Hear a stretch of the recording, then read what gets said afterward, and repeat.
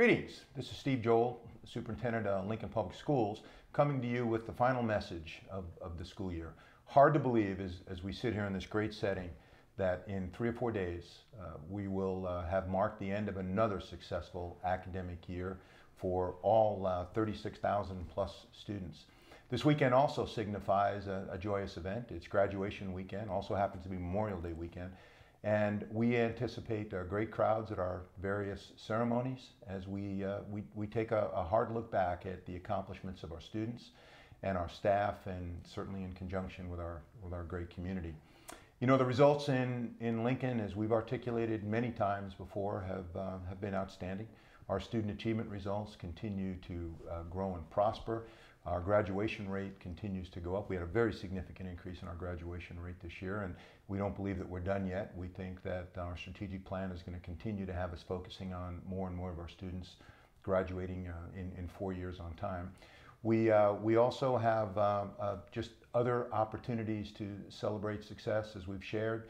We've been able to, to produce these kind of results in, a, in an environment that's been a little bit challenging. You know, we, we began this year talking about budget. Budget was a little little tense, a little tight. Uh, we managed to, to make our way through. We had to freeze staffing points for um, probably a second or third year in a row. Um, our growth continues to be rapid. We have uh, we had about 600 more students this year than we had the previous year. We anticipate uh, some similar growth, a little bit of a drop off, but next year continuing in, in, growth mode. And of course, demographic challenges. You know, we, we continue to be a district that is beginning to look more and more like the rest of the country. But we know that the success of our achievement results and the success that our school district enjoys truly centers on the, the great professional quality that's represented in all of our uh, various categories throughout Lincoln Public Schools. You know, we have great teachers, we have great teachers, uh, support staff, we have wonderful volunteers.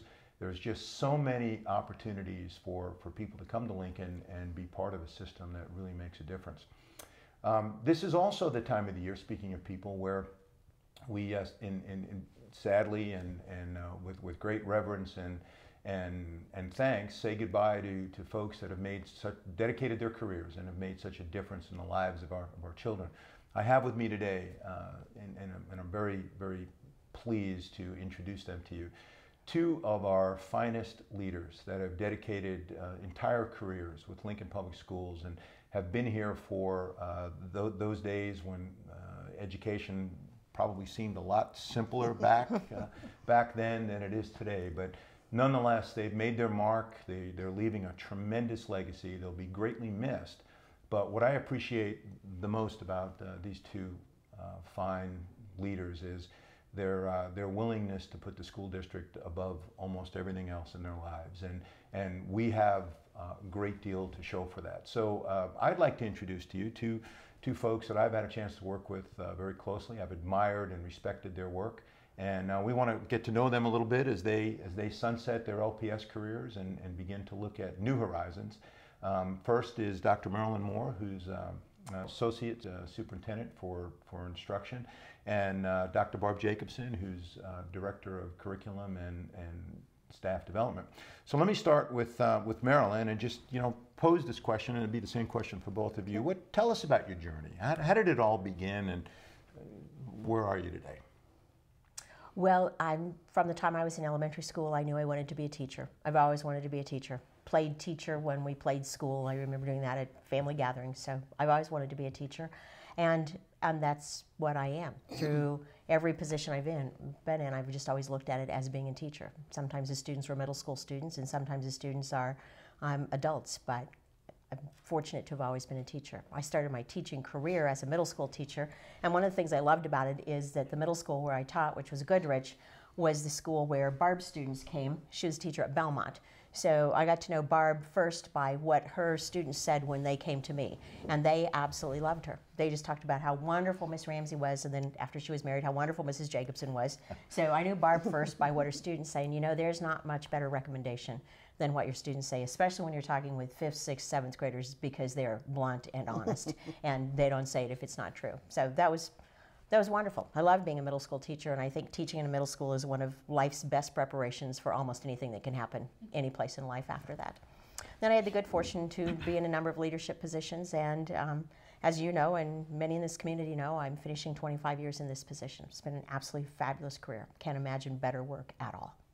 Well, and I want you to know, and I want the public to know, you know, you're still a teacher, and you'll always be a teacher because you've taught me a lot in the last two Yeah. years. I appreciate that. Very You've been a, you've been a willing learner, I've a willing learner. a highly motivated learner. a bunch to learn in Lincoln. I know that. Barb.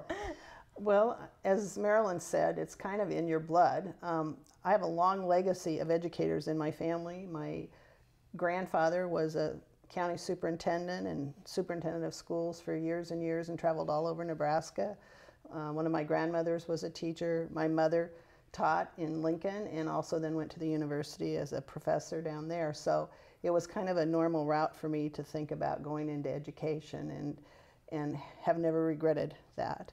I uh, started, as Marilyn just said, at Belmont and taught also at Hawthorne Elementary School, which is, by the way, where I went to school. So that was very interesting to come back to a school that you had gone to and be a teacher there. And there were still um, some teachers there that were there when I went to school. so I'm sure they were a little surprised and maybe a little, oh my gosh, how did she make it through?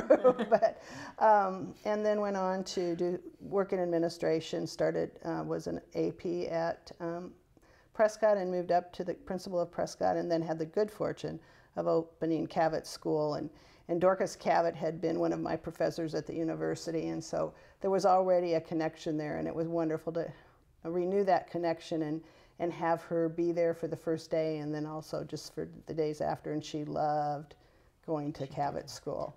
And then um, 12 years ago, came into this position and thinking that my career has really helped me think about how do you teach at, as Marilyn said, at all different levels and different audiences. And so I think we truly are always teachers at heart. So, so tell us, Barb, uh, just a little bit about what, what exactly is your assignment? What, what, what's your primary responsibility? well, I'm the director of curriculum and professional development, so that means that I am in charge of all the curriculum K 12. Uh, I have um, curriculum specialists uh, for all content areas who really do the bulk of the work, but I just make sure we're all going down the same road together and uh, being aware of what the research says, what best practices are, knowing what the state and national st standards are, and now talking about Common Core. So we really look at what do our students uh, need to know and be able to do. Then along with that, the instructional strategies, the best practices for how to teach those curriculum areas, the assessment that goes with that, helping working with our assessment and evaluation department to make sure that we have assessments that help us know how our students are doing, and then providing that um, all important professional development. And then there's lots of things that go along with that, such as grading, report cards, developing new report cards, um, just all, just a wide variety of different projects to do too. And Marilyn, you know, in, in addition to keeping me out of hot water, why don't you describe what you're primarily responsible for? I, I, I'm responsible for uh, all that is that happens to our students in, in, in instruction in the district. I'm everything uh, from um, Barb's area of what do we teach and how do we teach to the areas of special education, student services, library media services, gifted programming, um, the, the activities and athletics program, and then the supervision of the principals through our um, directors of elementary and secondary ed, school improvement processes, accreditation, making sure that we're in line with that. The instruction budget is 82% of the total budget, and um, as I said to my mother, who was a little appalled when she found out how much money I was in charge of in the district, you know, the rule's the same with your home checkbook. It's that whatever money you have, you can spend that, but no more. and the difference is if you spend more than that in the district, you go to jail instead of just getting an overdraft notice from, from your bank. So we're pretty careful about not overspending that budget. It's, a, a, you know, it's, it's just truly, it's wonderful to work with such great colleagues and, and um, to assure that our students have quality experiences and, and that they learn. And I, if there's anything that's changed, well, a lot has changed in the years we've been doing this. A whole lot has lot changed. changed. But I think um, 25 years ago, we put a lot of emphasis on trying lots of new things and doing new things, and there, the, the literature was full of new implementations and new innovations. Um, that has shifted from doing new things to doing those things that are best, those things that are best at bringing about student learning and for all of our learners in, in all of the different content areas. So there's a much higher focus on being precise about our outcomes and about um, aligning our resources to bring about those good outcomes. You know, you know that, that I have to ask this question because after two years, I, I, I, I know that there are competing pressures here. I mean, there's, there's a lot of pundits out there, not only in, in Lincoln, but in Nebraska and across the country, that have the solution for education. And, Exactly. you know, we get Yeah. criticized a lot because we use tax mm-hmm. dollars. Mm-hmm. How have you managed over the years to stay the course? Because I think if there's one thing that impresses me the most, it's the staying true to the mission. So, mm-hmm. Marilyn, start with you. Well, I'm. I think I think we've managed to stay the course because those faces of those students are always right in front of us, and um, if we're if we're not true to the course, we're not true to them, and and that's our ultimate accountability. That's where I feel my ultimate accountability is is to those 36,000 plus students who have one shot at kindergarten, and we need to make kindergarten the best it can be. So I, I think keeping students in mind and, and running everything through the filter of um, what does the research say about this? Is this a best practice? Is this something that truly improves student learning? And if the answer, if there's not a firm answer to that, then it's not something we're going to look at very carefully because our mission is so clear. And the biggest resource we have is student time, and it's so limited. We, we, can't, um, we can't be frivolous with it, so we have to make the best use of it. Excellent, thank you. And I think, yeah, Barb. I, I would agree with that. It's very well said. I, I think that one of the things that has changed and that has held us to that truth is to be sure that we have a guaranteed and viable curriculum throughout the school district. That what's taught in one classroom is taught in another classroom, and it doesn't matter whether it's down the street, across town, or even next door. That we know that all of our students are going to get the same resources, the same curriculum, have the same, basically some of the same assessments. Um, the teachers are going to get the same professional development, so we have teachers that are thinking and doing the same kinds of things and know what the, the best practices are, which ultimately goes back to what Marilyn just said is about keeping those kids in front of us. So I think that as we have really worked over the last 12, 15 years to make sure that what happens in all of our schools is research based, is uh, looking across what national and state um, experts say and what those standards are, I think has really helped us. And you do have to ward off all of the magic answers. And you have to think about really, as Marilyn said, what is the best thing for kids?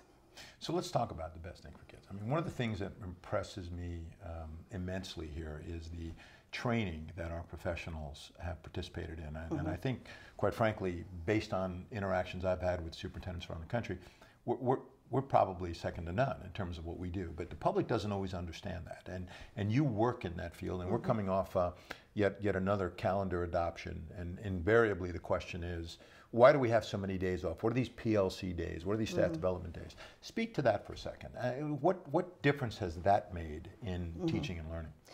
I think that what you've seen over the last few years really has been that teachers are becoming much more collaborative, much more um, looking at what the data says about what kids are able to uh, know and be able to do. And because of that collaboration and because of that time that we've gotten now with PLC days, um, some of the other opportunities uh, throughout the school year for teachers to actually sit down and have conversations about how is this working in your classroom? What are you doing? I see that your kids are doing better at this concept than my kids are. What are you doing? And then being able to come to the district and say and seek the expertise that is at the district level in the curriculum specialists, in our teacher leaders, our coaches, and say, you know, we're having trouble with this. What can you do to help us? And for us to then sit down with them on a school basis, on a department basis, on a fourth grade team basis and say, let's take let's take an opportunity and really have those conversations about what's happening in your classrooms. So this really has individualized, I think, professional development for both teachers and teams of teachers, whereas it used to be as kind of a scatter shot. Oh, here's the again the next best thing. Let's all go out and learn this, and let's try this in our classrooms.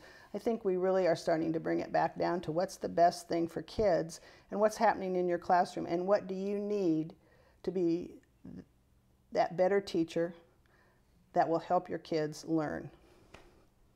You know, I, I just liken it a lot to other professional areas.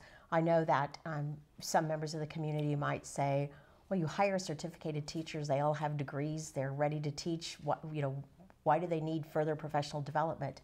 And in any profession, we want further professional development. I, there, there have been a lot of advances in the medical field since my physician graduated from medical school a number of years ago, and I expect him to know them all.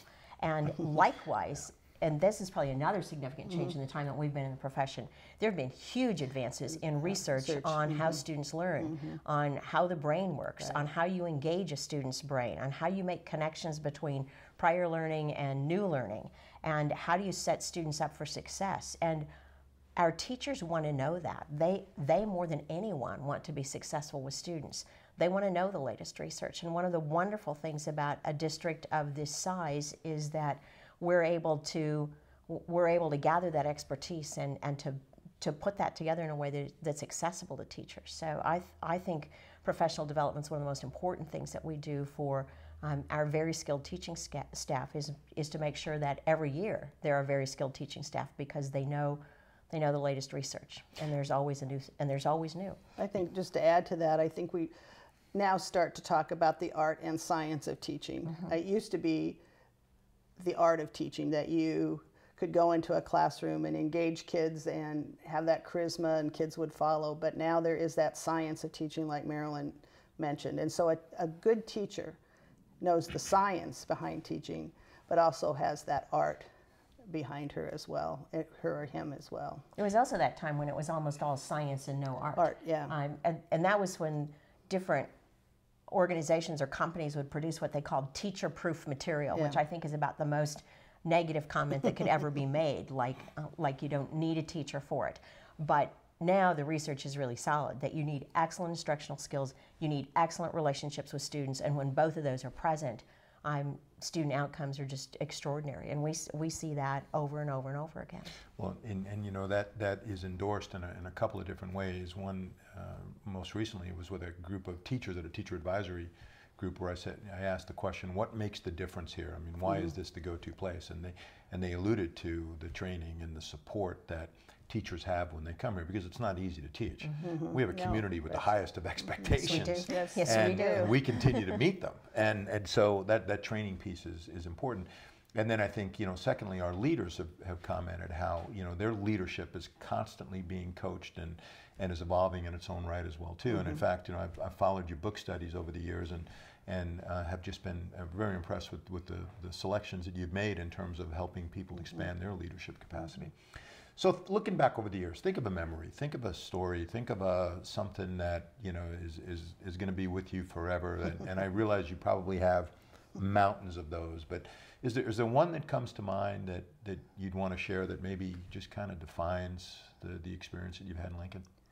Well, I don't know if it defines my experiences, but I think it defines me in a way because I can't go too many places in, out in public where I don't meet somebody, especially from Cavett, that doesn't remind me of this story. so, um, when you talk about building relationships with kids and getting kids excited about learning, uh, when I started at Prescott, um, somehow we would have picnics out on the on the front lawn, and everybody and parents would come, and we'd all do that. And I would always get up and lead a cheer called the Prescott Paws Cheer, and uh, positive actions working for success. And I had I'd been somewhere on some campus and found these big paws, and so I would get up and do the pause. And so when I went to Cavett, I decided we needed to continue that tradition, and so we came up with the Cardinals Can Do cheer, and so we would have those picnics. And um, I'm not very good about peer pressure, and so one time when we were having a picnic, one of my colleagues said to me, I bet you can't at the end of your cheer do a cartwheel. And I said, "Uh, You're right, I can. And she said, Oh, no, you can do it. You can do it. And so, to prove her that yes, I could do it, I did the cardinal can do cheer and I did a cartwheel, Wow. of which my father said afterwards, And how old are you, Barbara? and anyway, I, I cannot go anywhere in Lincoln when I don't run into a parent or a student that asks me if I can still do a cartwheel, of which I can't. But what I, the reason I remember that is because all those little things you do to build community in a school and as an educator really make a difference. And sometimes just doing something as small as that brings everybody together. It makes it the school, the place that kids want to be, the place that parents want to send their kids. And it, it just um, sort of has defined Cavett and some of the things I did there. So. How long were you hospitalized? well, I will say I was a little sore. Marilyn, how about you? You know, I don't turn cartwheels. I don't have any story that's as dramatic as that. I'm, there are there are of course lots of them. Many many from teaching. Uh, when you're a middle school teacher, you have a story a day, and sometimes several stories a day. And then um, when I worked in our human resources department, I discovered that there were lots of stories too, but because of confidentiality rules, you can't tell any of them. So five years of great stories that, that will never be said and never be shared. i you know, there, there are many, again, from this work. I do remember um, the, the summer that we had worked so hard to put in, plan, to put in place a new plan to deal with, um, with reading in the elementary schools, especially reading in the primary grades, because the the, our performance it didn't meet community expectations and it didn't meet our expectations. So we'd worked really hard on a new plan. And that fall, uh, at the start of the school year, we had a voluntary um, all staff meeting for anybody who wanted to come. And uh, it, it, we used to have required first day of school staff meetings for the whole staff when we'd fill the gym at East High School and, and we decided there was a better way to use our time. So then we had a voluntary meeting again at East High School in the auditorium, and we really had no idea how many people would come, but hundreds of people came, and I think part of it was because people had felt really pressured all summer long and had felt kind of beat up by the by the newspaper stories about the about the reading scores, and so hundreds of people came, and they came dressed in their school T-shirts. So you know, we had all the Cavett teachers in their Cavett T-shirts, and we had all the Mickle teachers in their Mickle T-shirts sitting in the East High Auditorium. And um, I remember speaking to that group. I really don't remember what I said, um, other than reminding them of what fine professionals they were and um, the plans that we had and the confidence that we that we as leaders all had that by doing their, our, our professional best practices that there would be um, there would be improved student learning and of course over the course of the next year there was improved student learning but that morning that was kind of it kind of felt like we turned a corner from a summer of being pretty beat up to a start of a new school year, which is always wonderful. When you start a new school year, you truly get a fresh start, and not only for kids, but for adults too. And it felt like, okay, we're, we're here, we're all together, we're committed to this. We are a great big professional learning community gathered together in this auditorium, and we're determined to move this forward. And it had, had an absolutely wonderful feel to it. So when I I, when I'm uh, out in the community, I don't have parents who ask me if I can turn cartwheels because they know I can't. But I do have teachers that, that just comment on how important it is every now and then to come together, hear a common story, and, and, and take a deep breath and, and get ready to move forward to the new year. So that's probably illustrative of that. You might not do cartwheels, but I've heard you were one heck of a softball player. Well, there is that. you know, when you le leadership is is really all encompassing, and there's um, my, my, my, I suspect in Lincoln many more ups than downs, but you know downs mm -hmm. come with it as well mm -hmm. too. Think back to what's challenged you the most over the years, and maybe continues to challenge you. Well, Marilyn bringing up the um, the reading scores. I was the principal at Cavett then, and I remember when the the newspaper came out that morning and um, looked at the scores in the paper. It was. I also remember it was Mother's Day, and I remember going to church and sitting in the balcony and really almost crying because I was just so upset that, um, first of all, that we hadn't done better, but yet I had thought we were doing a pretty good job. And so I, I think that what that said to me was that even though I thought we were doing a pretty good job, we can always do better. That there's always the next hill to climb, there's always that next goal to reach, and that we can't rest on our laurels because at Cavett we could our kids could read. I mean, they we didn't have very many kids that couldn't read. We had some kids that had some difficulties, but it really made me think about there's always another goal to reach. There are always some kids that need that extra help. There are always there's always something to do. And so you can't sit back and say, well, we did a good job. So I, I think that that really reminds me all the time that we keep needing to go down the road and, excuse me, and uh, looking forward.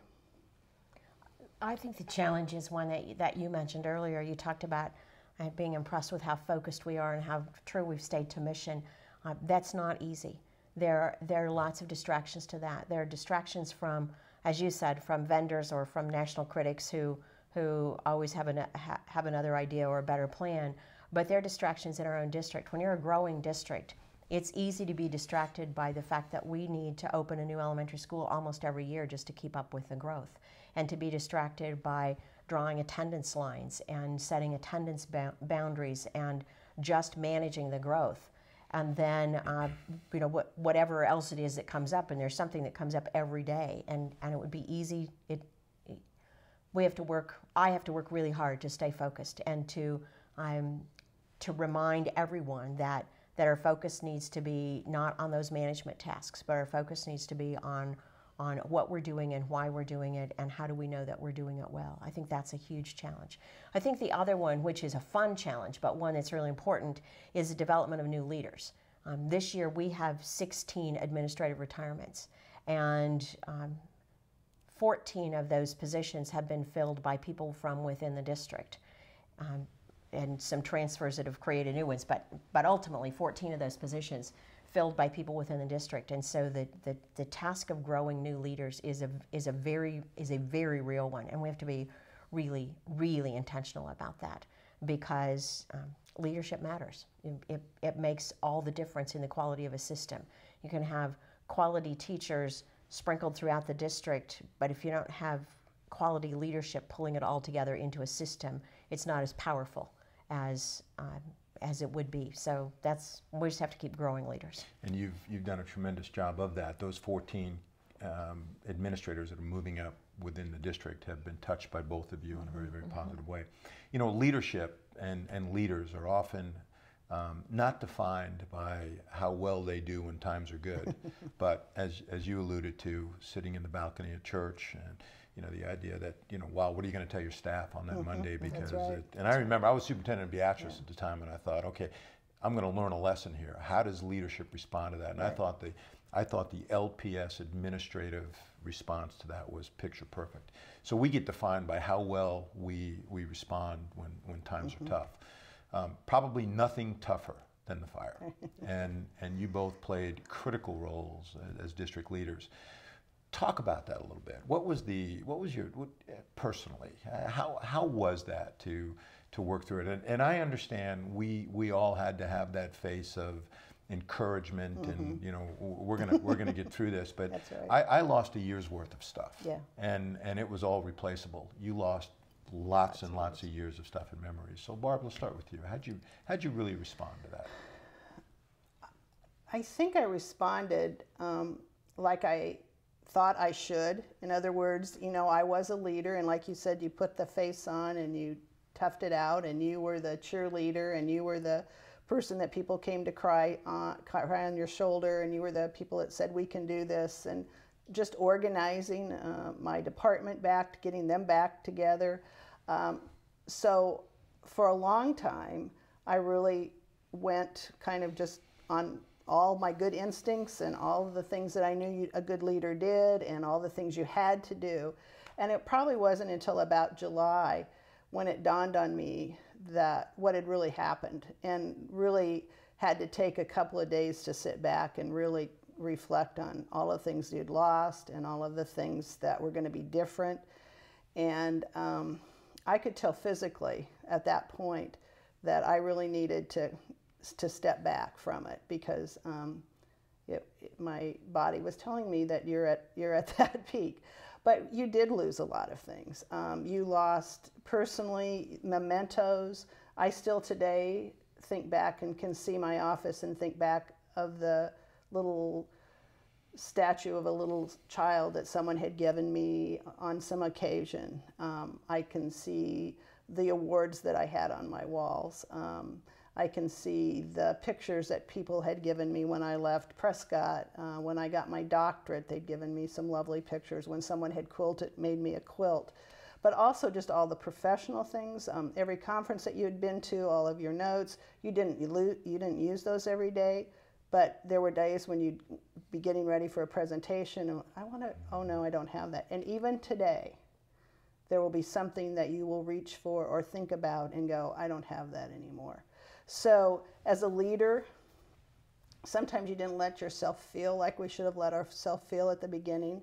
And I think at the end, then all of a sudden you had to just kind of stop and let yourself feel for a while. And then you got back up on the horse and rode down the road again. So, yeah, I think it's, um, I, I think it's a real grieving process. Mm-hmm. Um, there, there is that frenzy of activity that has to happen, and people in leadership roles do that. I mean, we're good at figuring out what's the problem to be solved, what are the options, what's the best one, make a choice, get on with it, implement, and go on to the next thing. And sometimes you have months to answer those questions, and sometimes you have a half an hour, which is mostly what we had last summer, was a half an hour to do that.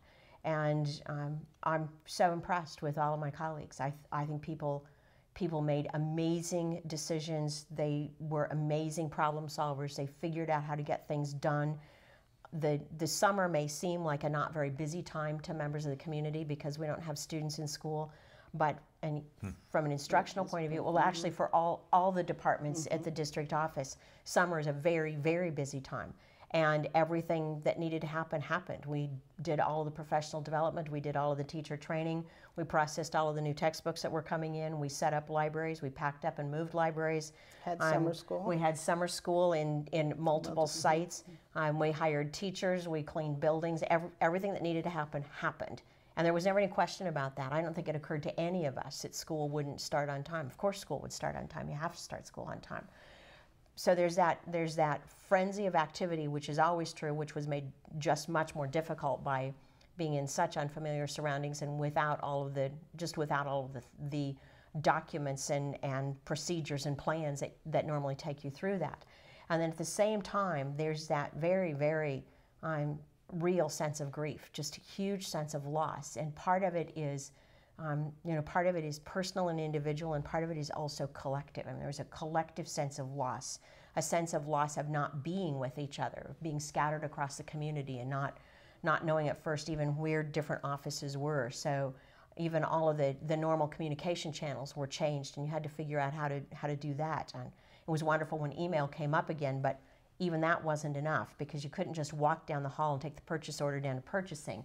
You had to first of all remember where they were and then get it out to them and, and if it was an emergency drive it. And, and so every every routine and procedure that we'd had well in place was disrupted and had to be recreated.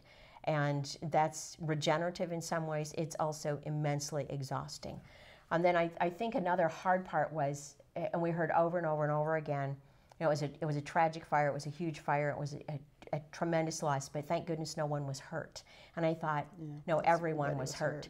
You know, no one was physically burned, but everyone was hurt, and and it's um, it's hard to hear the statement "no one was hurt" when you know that everyone was.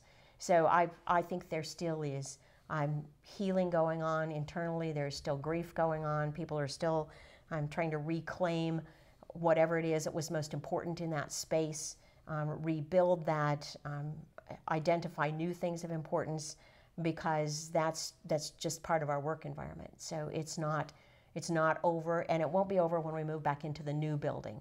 But with every month comes you know some more piece that that falls into place and it's much like um, grief over the death of a, of a loved one. Um, with every month there's a, a little more perspective and a little more time and those are really good. And then you also figure out ways to stay in contact with the, the people that you work with most closely. We're, we're lots more efficient now than we were yeah. 10 we months ago in mm-hmm. terms of knowing how to get our work done, even though we're not all in the same building. Mm-hmm. So that's been an important learning, and I, I'm sure everyone is stronger for it and more resilient because of it. Um, but I have to say, I think we saw great strength and great resilience on the part of our of all of our colleagues as we worked through that process. Well, I think you, you have absolutely nailed it. it. It's one of those uh, events that mm-hmm. will always remember what we were doing and mm-hmm. I look back on it and it was a flurry of activity. It was a lot of adrenaline. It was this, the human spirit of can do, and we, we just got work done. So, and, and you both provided tremendous leadership for that. Okay, hearing you, you talk and and watching your expressions and you're, you know, you're still smiling, you know, you're not the, these burned out, you know, I, I gotta, it's time to retire and, and gotta, I, I'm gonna sleep till 10 o'clock, yeah, I'm gonna drink, you know, coffee till, till noon. What are your plans? And, and before you answer what are your plans, let, let me ask you this. What, what made you decide to retire? Barb? You know, I hadn't really thought about retiring, and people always said to me, You'll just know when it's time. And this year, it just kept creeping back into my thoughts. It was like, there has is there something else out there that I want to do? And I'm still young enough hopefully to do that. And maybe it's time to let somebody else take the reins and move this forward. Have I you know the question always comes up have you done what you can do? And is it now time to let someone else come in um, so it was just as I said it just kept creeping back in my thoughts and I thought apparently something or somebody is telling me that it's time to really look at this seriously so um, it was a hard decision. It was very difficult. I love what I do. I love the people I work with. Um, I, I am not burned out. I have not once said, at least aloud, that this isn't going to be my problem anymore.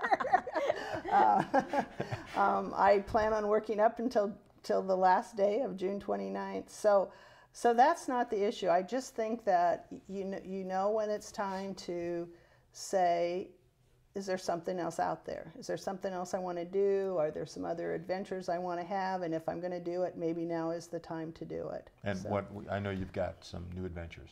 Um, I'm going to be a professor at um, Doane College part time, not all the time, so I can get up at 10 on some of those mornings and drink coffee till noon on some of those mornings.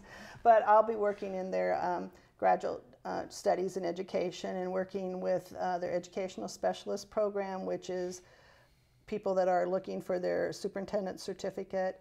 Also developing some courses on how you work in a district, so those people that may not want to be a superintendent but want to do some other um, opportunities in a district office or at, a, at that level, um, developing some courses for that. So I'm looking forward to that.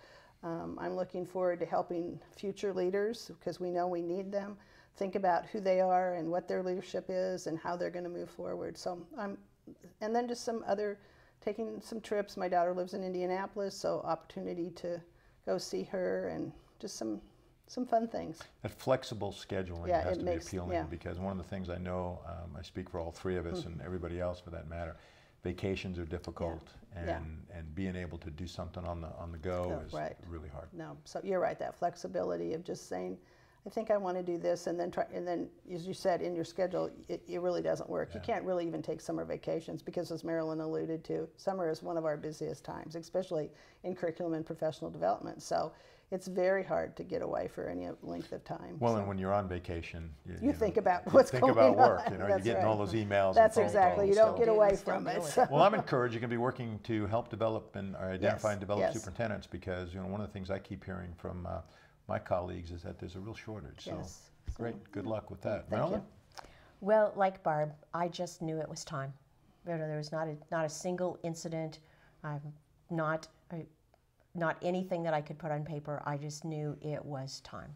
And like Barb, I love the work and love the people.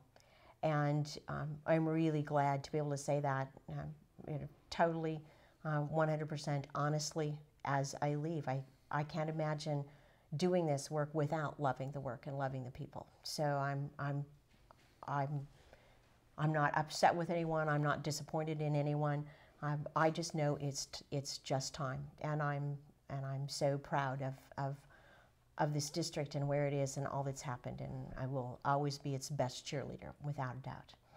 And um, I don't know what that first day will be like. I think it will feel like vacation, and, and that will be wonderful. And and it'll for, me it'll be a couple of months of vacation, and then I'll start um, a new position as the president of the Bryan Bryan LGH College of Health Sciences, which is totally new for me. I really don't know higher education. It wasn't what I was planning to do in retirement, but the opportunity came up, so I said yes, I'll do that. So I'll be figuring out what it means to be a, a college president of a small college that is all persons pursuing um, degrees in, in different avenues of health professions, which is a very important aspect of our community. And so I'll be, I'll be glad to still be in teaching and learning, just in a different setting.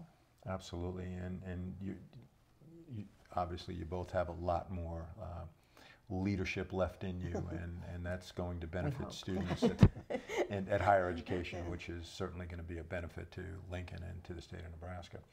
You know, level five leadership is defined by Jim Collins um, in his book Good to Great as what does the organization or the department or the, the, the corporation look like after great leaders depart?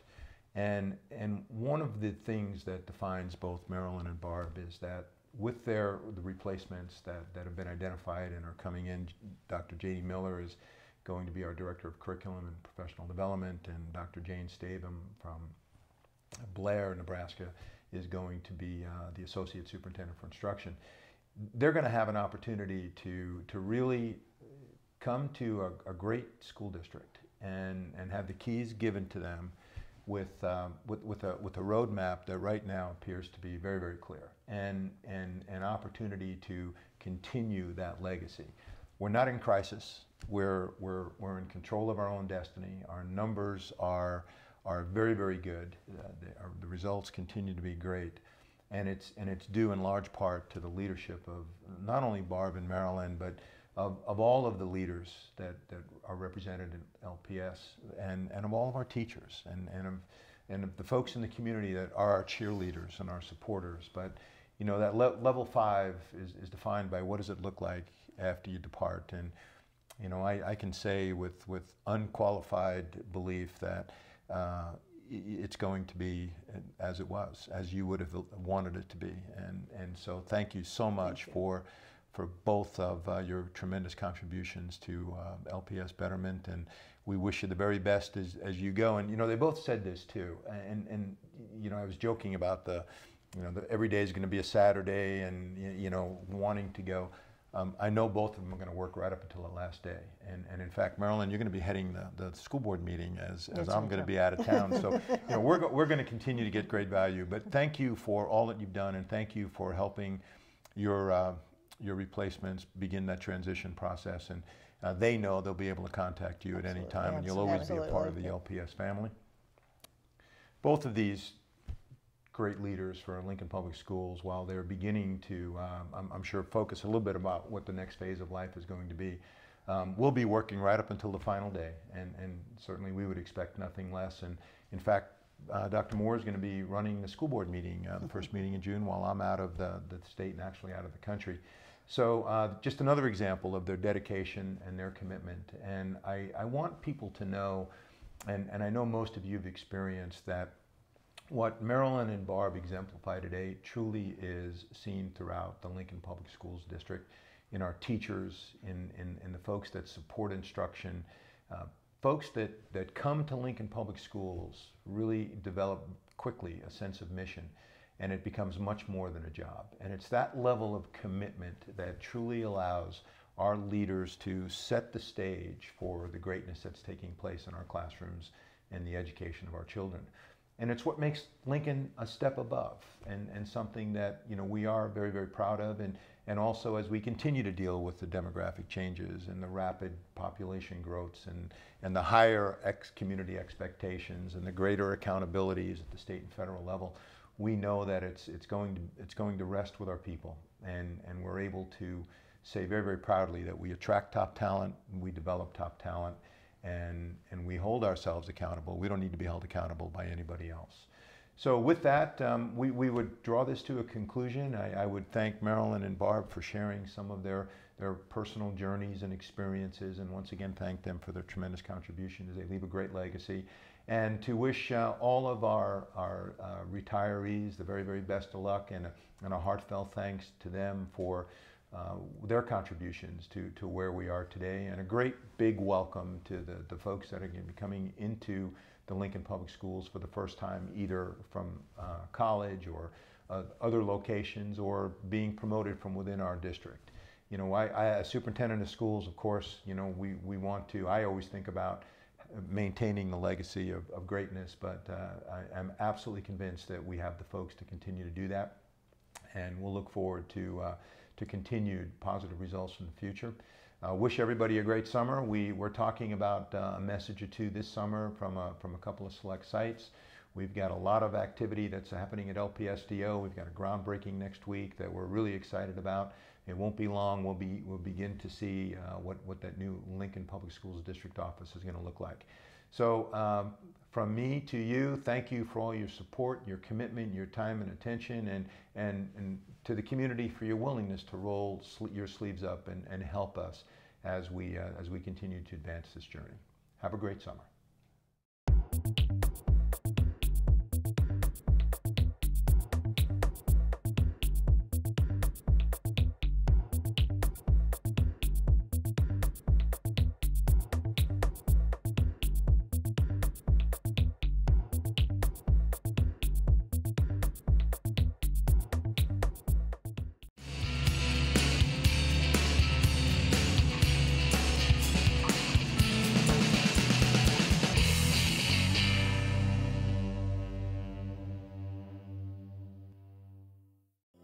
This has been a presentation of Lincoln Public Schools. A monthly programming guide may be found at www.lps.org.